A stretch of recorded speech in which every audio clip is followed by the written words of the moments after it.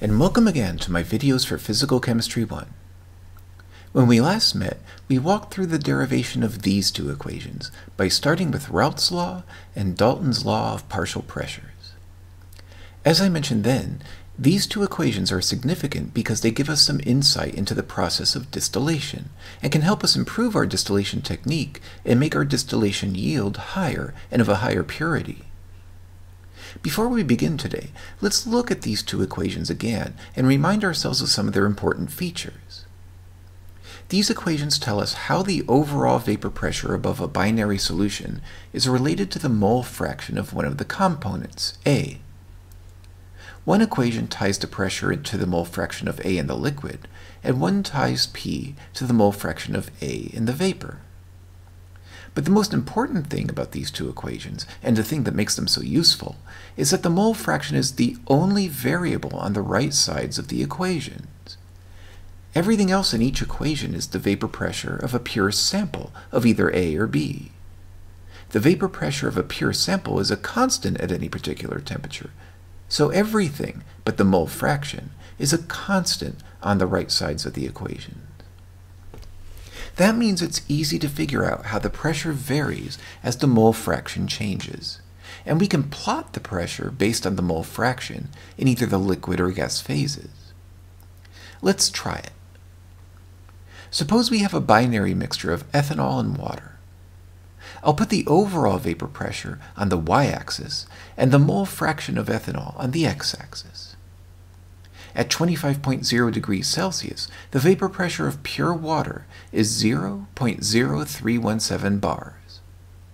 That's the situation when there's no ethanol around, so the total vapor pressure is 0.0317 bars when the mole fraction of ethanol is zero.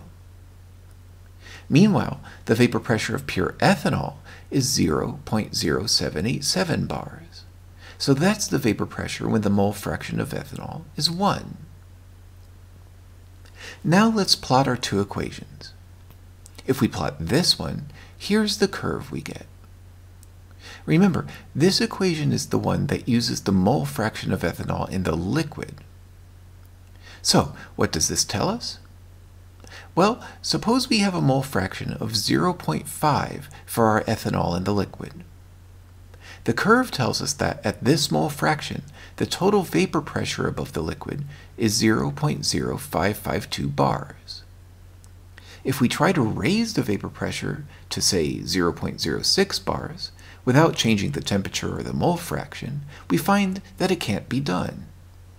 At that pressure, all the vapor will immediately recondense into a liquid. Now let's plot the second of our equations. This equation is the one that uses the mole fraction of ethanol in the vapor above the solution. What does this one tell us? Again, suppose we have a mole fraction of 0.5 for our ethanol in the vapor. The curve tells us that at that mole fraction, the total vapor pressure above the liquid is 0.0452 bars. If we try to lower the vapor pressure to say 0.03 bars without changing the temperature or the mole fraction, we find that it can't be done. At that pressure, any liquid immediately vaporizes. So, below this curve, only vapor is present. For that reason, this curve is called the vapor curve. And above the other curve, only liquid is present. That curve is called the liquidus curve. But the really interesting part of this graph is the area between the two curves. At this temperature, both the liquid and vapor phases are present at those pressures. That's what happens while a solution is boiling. So, when our liquid is boiling, the system is located somewhere in this region of the graph. So, suppose we have a situation where the mole fraction of ethanol is 0.5 and the vapor pressure above the solution is 0.050 bars. That would put our system at this position on the graph. Because it's in between the two curves, we can see that the solution would be boiling under these conditions. If these were the conditions that arose during a distillation, we might want to know how much of the ethanol is in the liquid phase and how much is a vapor. Using this graph, we can figure that out. We'll draw a point on the graph where our system is currently located and call it P. Now we'll draw a horizontal line through that point from the liquidus curve to the vapor curve. We'll label the point where the line crosses the liquidus curve L and the point where it crosses the vapor curve V. This horizontal line is called a tie line. It turns out that the relative amount of ethanol in the liquid phase versus the vapor phase is given by the ratio of the distance between points P and V over the distance between P and L. In our sample, the point L occurs where the mole fraction of ethanol in the liquid phase is 0.3895, and the point V is where the mole fraction in the vapor phase is 0.6131. If we plug those into the equation for the ratio of moles, we find out that the ratio is 1.023. So that tells us that there are slightly more moles of ethanol in the liquid phase than in the vapor phase. We just used the length of the horizontal line between the two phases in this phase plot in order to determine the relative amounts of one of the components in the liquid and vapor phases. The equation we used in order to do this is known as the lever rule. The previous example was interesting, but it only has limited practical value. Why? Well, remember that the y-axis was the total vapor pressure. That's not a very easy thing to measure. In a practical experiment like a distillation, we don't have the pressure changing at a constant temperature. Instead, the opposite is true we have the overall pressure constant, and it's the temperature that we're changing. Let's try using a plot where that's the case. For example, let's look at a binary solution of pentane and octane. I'll plot the mole fraction of octane on the x-axis. And this time, we'll put temperature on the y-axis instead of the pressure the plot will still show us the division between where the system is a vapor and where it's a liquid. For a pure substance, the border between a liquid and vapor occurs at the boiling point. When the mole fraction of octane is zero, we have a pure sample of pentane, and pentane's boiling point is 36.0 degrees Celsius, so we can put that point on our plot.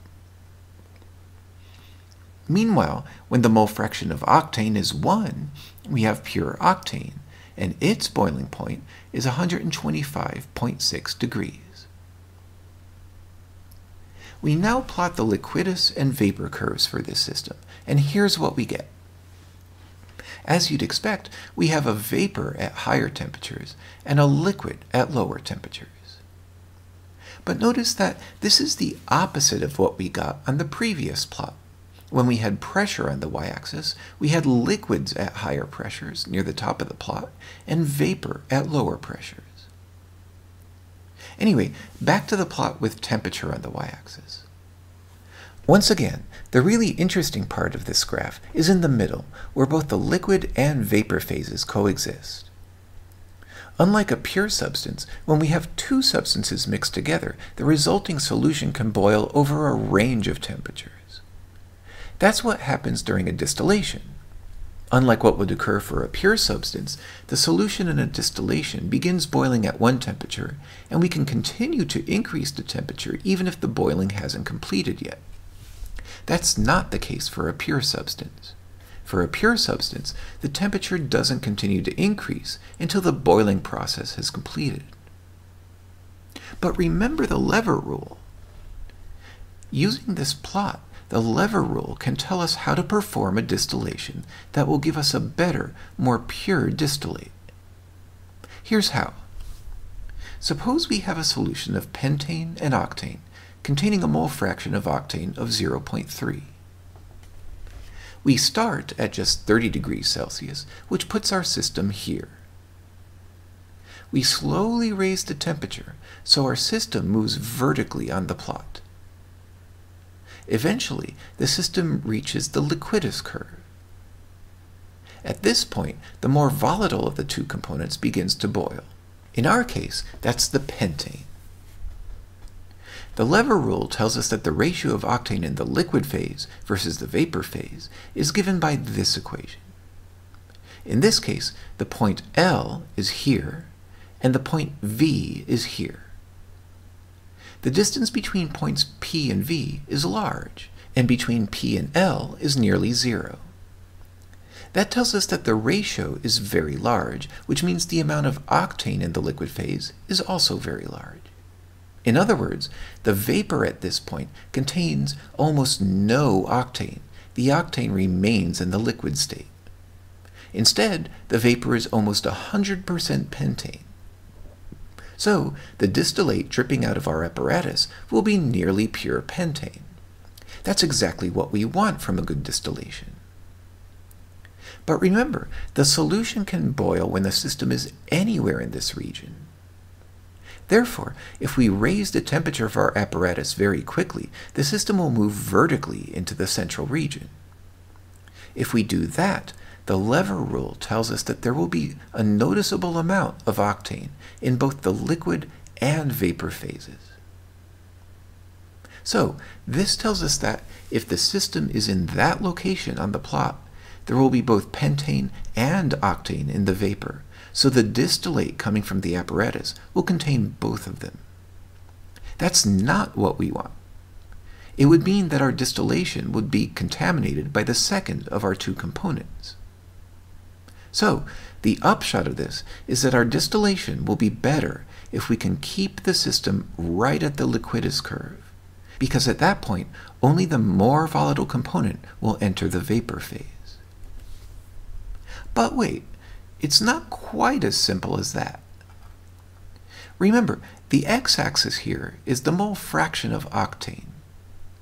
As we saw earlier, if we raise the temperature until the system reaches the liquidus curve, the pentane begins to boil off.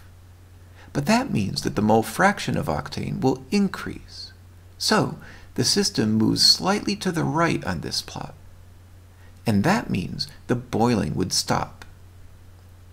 To begin the boiling again, we'd need to raise the temperature until we reach the curve again. That process would continue. Whenever we reach the curve, the pentane will begin to boil off, which moves the system to the right, and that means we need to raise the temperature again in order to continue the boiling process. But remember, we don't want to raise the temperature so much that the system enters this region, because in that case, both components of the system would be partially vaporized, so the distillate would contain both components. So this tells us that the distillation would give us the best results if we raise the temperature very slowly once boiling has begun. That way, the system will move along the liquidus curve, and only the more volatile component will be in the distillate. Eventually, the less volatile component will be the only component remaining in the solution. And at that point, that's the component that would begin to boil and would be the only component in the distillate. Well, that's enough new material for now. I hope you've learned some useful tips for your next distillation. When we meet again, we'll talk more about colligative properties. You might recall that in video 34, we said that Raoult's law describes one colligative property, the lowering of the vapor pressure when we add a solute to a liquid. In the next two videos, we'll see that colligative properties can help us identify the solute in a solution. It's one of the most practical applications of colligative properties we can use in a chemistry lab. I hope you'll join me for that. But until then, have a good week.